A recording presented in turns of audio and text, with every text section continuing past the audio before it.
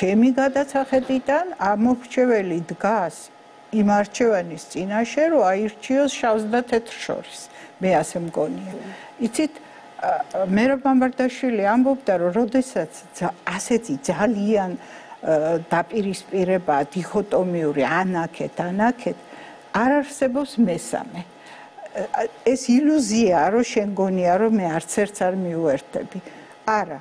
ეს შენ იმით, რომ გონია, რომ არც ერთს არ უერთდები და ნეიტრალური ხარ, რომელიღაცას აუცილებლად ამაგრებ. აი ამას ამბობდა მერაბი და ნუ ამას ამბობს დანტე და ასე ამბობს, რომ გულგრილობა არის ყველაზე დიდი ცოდვა. და ეს არავის არც ერთი არ მომწონს და არავის არ უერთდები ეს გულგრილობა დღევანდელ დღეს თორე ისე არავინ არ არის ვალდებული რომ ვინმე აუცილებლად მოწონდეს და თუ პოლიტიკოს შეგიყვარდება ფსიქიატრს მიმატარ მიმართეო. მაგრამ რეალურად დღეს ასეთი მდგომარეობაა. მე ამას ასე უყურებ. დღევანდელ სიტუაციაში გულგრილობა უფრო ვის მხარეს გადახრის ამომრჩევლს ვისთვის იქნება სასარგებლო საერთოდ მაგას რომ იმ სასარგებლო იქნება ნაციონალური მოძრაობისთვის იმიტომ რომ მას ყავს მუდმივი ამორჩეველი რომელიც როკუტებოდეს არჩევნებზე წავა და გულგრილი თუ ხარ და არ წახვალ და ან დაფიქრობ ოფ მაინც გაიმარჯვებს არჩევნებზე არ წახვალ შენ ასხავ შენ იმის პროცენტს ზრდი, ნუ ეს ასე არის. საინტერესოა, აი მე ხშირ ბევრს ფიქრობდი აი ამ პროცენტებთან დაკავშირებით, რომ როდესაც ეს პირველი ტური გათავდა, ხო, დარჩა ორივე მხარე საოცრად გაოცებული დარჩა. ნუ ოცნების მომხრეები იმით, რომ ამდენი პროცენტი აიღეს ნაციონალებმა და თვითონ ნაციონალებიც მე ასეთი გზნობა მაქვს რომ არ ელოდნენ ასეთ ასეთ პროცენტებს იმიტომ იყო ეს ყიჟინა გავიმარჯვეთ გავიმარჯვეთ და იმიტომ ძალიან ცოტა ისმოდა გაყალბების შესახებ კანტიკუნტად ხო აი ასეთი სიტუაცია აქვს და ეს რომ აი გაყალბებაზე არ ლაპარაკობენ და რაღაცა ეს კარგია ძალიან იმიტომ რომ ფაქტიურად დაყაბულდნენ იმ შედეგებს, რაც ქონდათ და ხა რატო გამოიმარჯვეს, არ ვიცი, იმიტომ რომ ბატონ კახიკალაძეს აქვს რაღაც 11 თუ 12%-ით მეტი და ეხლა მელია რო ამბობს, რომ მე უნდა გავიმარჯვო, ну აბსოლუტური ის არის, რანაირად უნდა გამოიმარჯვოს, ხო? 11%-ით მეტი აქვს მეტოქეს. და ისედაც ეხლა 2/3 მთელი დეპუტატების მუნიციპალური დეპუტაციების აიღეს ოცნებამ ასე რომ გამარჯვება არ არის მაგრამ როგორც ჩანს გამარჯ გავიმარჯვეთ იმიტომ ამბობენ რომ არ ელოდენ ამ შედეგებს სიმართლე გითხრა არც ჩვენ ველოდით საინტერესოა თუმცა ეს მართლა პირველი არჩევნებია, როდესაც მეორე დღეს არ დადგნენ აქციაზე და არ გამოცხადეს, რომ გაყალბებულია ეს არჩევნები. საინტერესოა ამას ვიხილავთ თუ არა მეორე ტურის შემდგომაც, მაგრამ ჩვენ სულ გვესმის საზოგადოებას ოცნების 9 წელი უკვე ბოლო წელია და ნაციონალური მოძრაობის 9 წელი. თქვენ როგორც საჯარო პოლიტიკის ექსპერტმა, რომ შეგვიფასოთ ზოგადად ის პოლიტიკური პროცესები, რაც მასში ხდებოდა და ახლა რა სხვაობა მივიღეთ? იცით რა მინდა გითხრათ და რა რაზე მინდა ვილაპარაკო ის 9 წელი როცა ნაციონალური მოძრაობა იყო ხელისუფლებაში 1000 ჯერ 1000 ჯერ არის შეფასებული და ვიცით რა ხდებოდა რა საშინელება ვიცით ყველაფერი ხო? თუმცა სიმართლე გითხრათ აი ციხესთან რო აქცია გამართეს და იქ ილაპარაკა ხალხმა ისეთი რამები გავიგე რაც არ ვიცოდი. ანდა თქვათ ბატონი ოთანაშვილი რო ყვებოდა რომ შეხორცე ნუ ნაკერები თქვენ ეთერში დიახ რომ ნაკერები გაუხსნეს. და თქვენ კითხეთ რას ნიშნავს გაგიხსნეს და ბუკვალურად გაუხსნეს ხო? ესეთი რამები მაგრამ მე მინდა ვილაპარაკო თუ შეიძლება შემდეგ 9 წელზე აი შემდეგ 9 წელსაც საშინელებას ჩადიოდა ნაციონალური მოძრაობა. შემდეგ 9 წელსაც ნაციონალური მოძრაობა იქცეოდა ისე თითქოს ეს მათი სამშობლო არ იყო. თითქოს აი ქვეყანა რო ქვაქვაზე რო არ დარჩენილიყო, ეს მათი მათთვის იქნებოდა ყველაზე კარგი. ესე იგი საქართველოს უნდა მხოლოდ მაშინ თუ თვითონ არიან ხელისუფლებაში. ისე საქართველოს არ უნდა. არც ქართველები უნდა, არც ქართული საქართველოს მოსახლეობა აინტერესებთ. აი, ამის ძალიან კაფიო მაგალითია ის, რომ სულ აქვს მცდელობა, რომ მოსახლეობის მატერიალური მდგომარეობა გააუარესოთ. აი, გაბუნია ცნობილი გამოსვლა, როდესაც პუტინს აკინა, ნუ ჯერ ერთი სამარცხვინო იმდენად რომ მე არ გამიგია რომ ადამიანი ასე აგინებდა დედის დედას კი არა დედის საფლავს უგინებდა კაც ხო ცხოვრებაში ეგეთი რამე არ გამიგია მაგრამ ეს ხო არ იყო პუტინისადმი ეს ეს იყო გაკეთებული იმისთვის, რომ იმ 2019 წელს მე თაწმინდაზე ვცხოვრობდა, ვიცი რა ხდებოდა, ესე იგი დილის 7 საათიდან რო იწყებოდა მსვლელობა იმაზე, რა ქვია, მამა დავითზე, yeah. გეგონება პარადიაო, აი ასე მიდიოდა ხალხი. და ტურისტები. ტურისტები, დიახ. და ტურიზმი ეს უზარმაზარი სფეროა, ყველა სოფლიოს ყველა სახელმწიფოს უნდა დაინტერესებს, რომ განვითარდეს ტურიზმი, იმიტომ რომ ტურიზმი ასაქმებს ყველაზე მეტ ხალხს საერთოდ. და ეს იყო იმ წელს უამრავი ტაქსიძღოლები, პატარა სასტუმროები, დიდი სასტუმროები, რესტორნები, ну რამე თუ შეიძლება მაღაზიები, ყველანი იყვნენ კარგად, იმიტომ რომ იყო ბუმი ასეთი. გამოვიდა ეს და მეორე დღეს აღარ არის. ხო? ეს ეს ხო მიზანმიმართული არის, ეს იგი არ შეიძლება არ ესმოდეს რასის რა რა გააკეთა, ხო? ვის გაუფუჭა საქმე? გაუფუჭა საქმე საქართველოს მოსახლეობას. მე კონკრეტულად უამრავ ადამიანს ვიცნობ და ვისაც გინდათ რომ გეკითხა ტაქსით, ჩვეულებო ტაქსის ზღოლისთვის, როგორ შეუმცირდა შემოსავალი.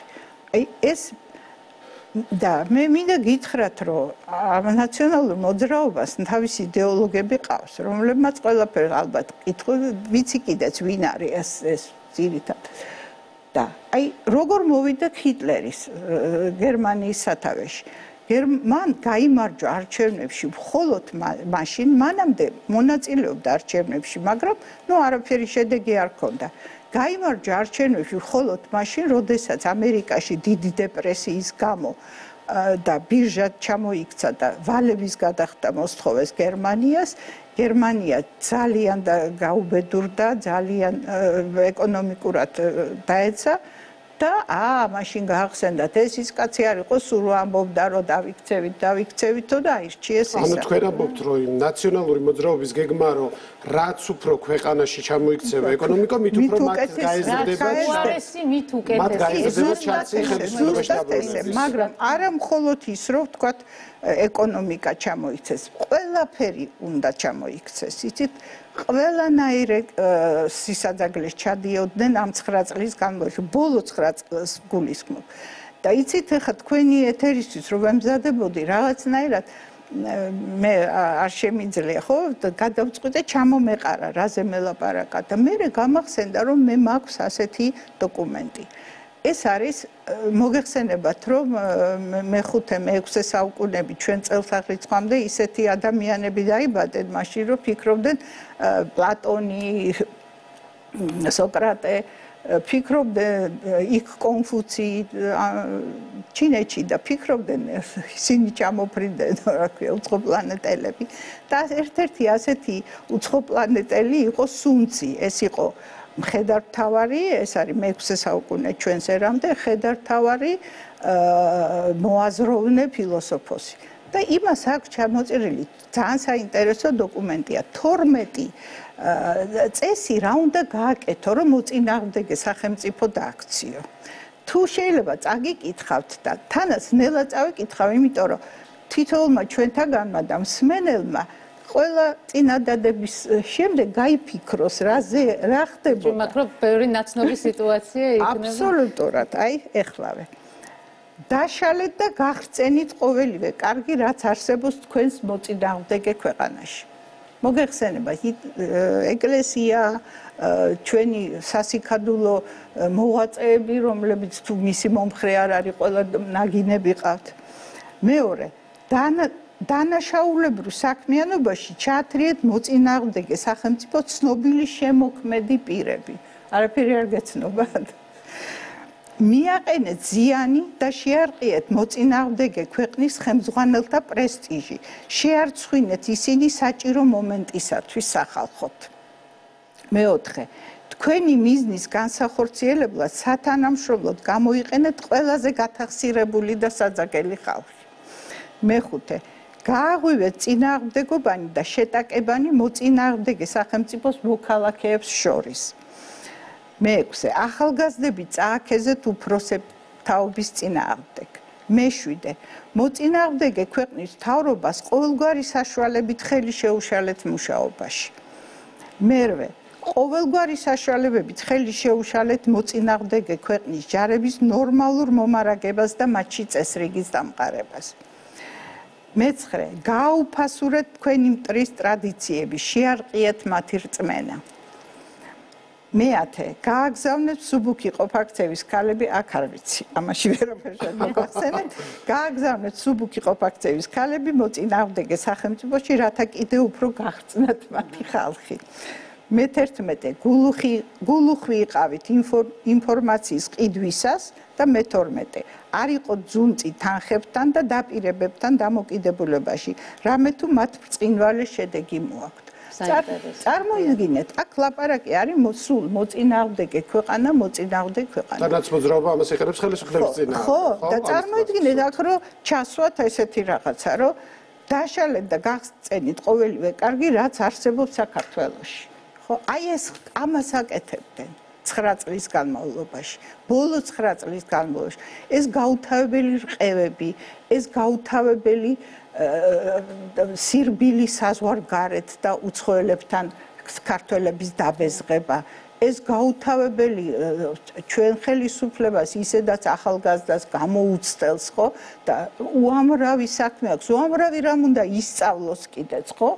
ჩვენ ახალგაზრდა ხელისუფლებმა და არა ესენი არ აძლევდნენ საშუალებას ესენი ყოველ წუთს ცდილობდნენ რომ საქმე კი არ ეკეთებინათ ამათვის ეპასუხად და ბოლოს და ბოლოს ისინი ძალიან ჩაერთენ ამ ამ საქმეში.